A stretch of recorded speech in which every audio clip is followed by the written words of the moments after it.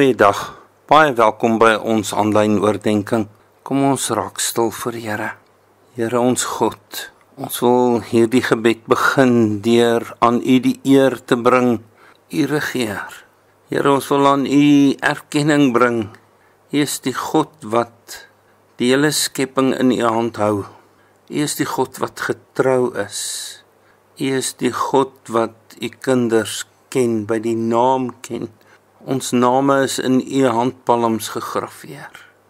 U beskerm ons soos 'n hen haar kykens. Ja, Here, u is ons Vader. En soos Jesus ons leer bid het, ons Vader wat in die hemel is, wil ons vandag bid, Here, laat u naam geheilig word. Laat u koninkryk kom. Laat u wil geskied.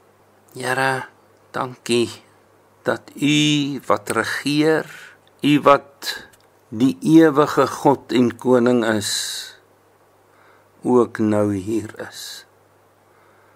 Kom, kom in maak ons bewus van u teenwoordigheid. Maak ons bewus van die warmte, die sagtheid van u liefde en u nabyheid in Jesus se naam.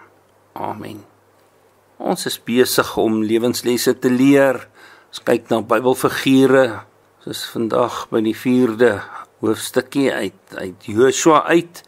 Ons lees in die Bybel uit Joshua 6. Ons teksvers wat ons gaan lees terwyl van die tyd is net vers 1. Jy's welkom om die res van die hoofstuk ook te lees. Joshua 6 vers 1. Jerigo was gesluit en verskans teen die Israeliete. Niemand het uitgegaan of ingekom nie. Hier is ons uiteindelik by hierdie groot stad. Die Jode het hulle self gereed gemaak voordat hulle oor die Jordaan gekom het. Hulle is deur die Jordaanrivier deur op sy droë beddings deur te stap.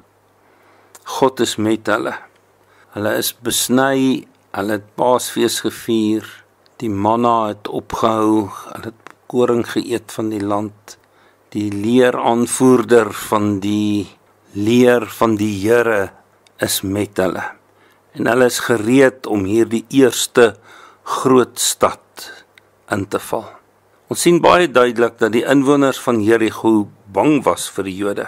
In Josua 5 vers 1 het ons lees ons toe al die konings van die Amorite wes van die Jordaan en al die konings van die Kanaaniete aan die see hoor dat die Here die water van die Jordaan voor die Israeliete laat opdroog het sodat ons kon deurgaan, het hulle van angs verstyf en het hulle nie meer moed teen die Israeliete gehad nie.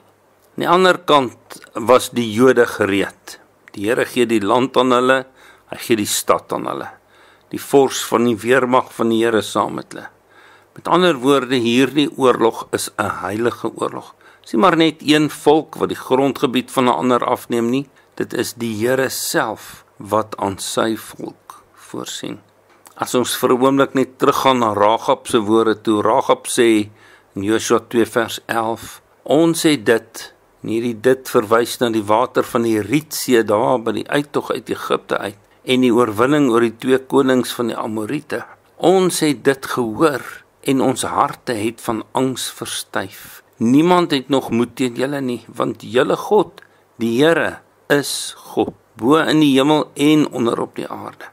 Menslik gesproke was die inwoners van Jerigo voorberei op die Israeliete. Hulle het die stad gesluit en was veilig aan die binnekant. Iets van die woorde van Ragab dui daarop dat hierdie veldslag nie sommer net op menslike vlak beslis sal word nie, maar deur die Here. Priesters het met die verbondsark om die stad gestap en die gewapende manne voor hulle uit. Met ander woorde, hulle het ook 'n aandeel in die oorwinning gehad. Hulle moes ook veg, hulle moes ook stap. Op die sewende dag, die sewende na die sewende keer, het die aanvalskreet hard uitgeskreeu.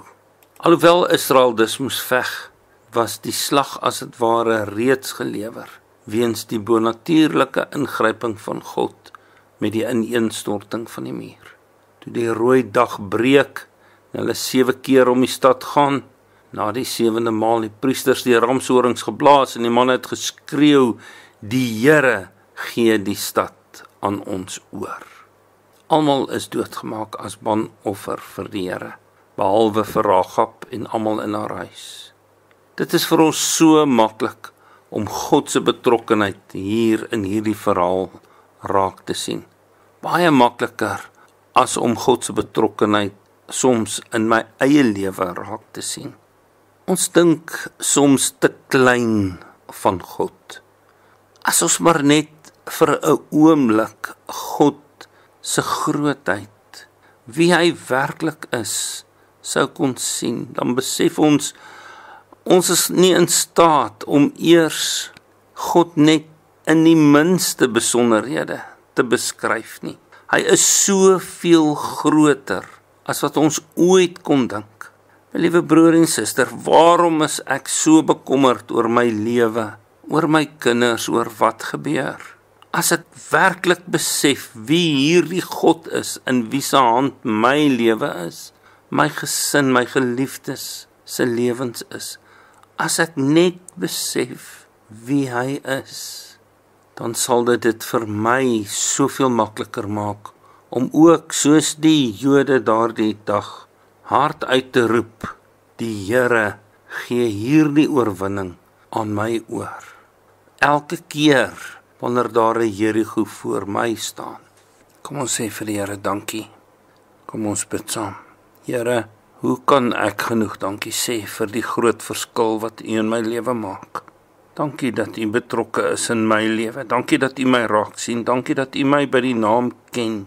Dankie Here dat U vir my nuwe waardes leer.